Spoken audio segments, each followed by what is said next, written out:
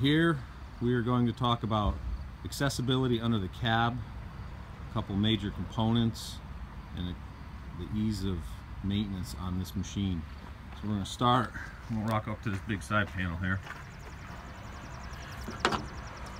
Open it up and we're going to apply this green button and the up arrow. And the whole cab assembly lifts forward. No jacking, no picking up and pulling on it like a skid steer.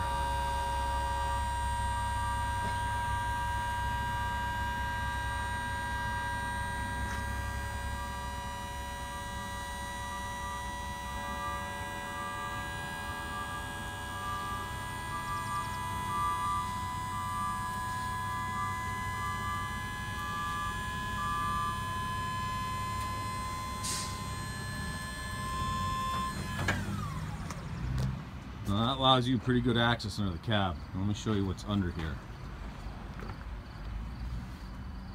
There's the safety rod. We won't mind that right now. But here is your turbo clutch housing that is run off the back of your gearbox. This, for lack of better terms, houses a torque converter with a heat set plug in it that acts as a fusible link if you stall the head too long.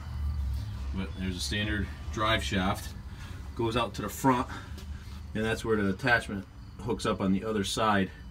This nice little ring here is something that you can't usually have on a hydraulic machine, but that's a that's a pickup ring. So you can have a tachometer to know how fast your operation is running. You do have a hydraulic valve block there for some functions and a little bit of wiring. But in the grand scheme of things, it's pretty basic underneath the cab. Now you see that little bit of debris right there. Not much, very minimal. Some of it's accumulated dust that's turned into dirt piles. But this machine has got roughly 30 hours on it, no clean out underneath here. So you can see the amount of stuff that it actually collects.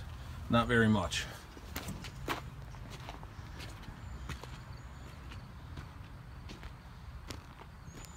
And that's all it takes.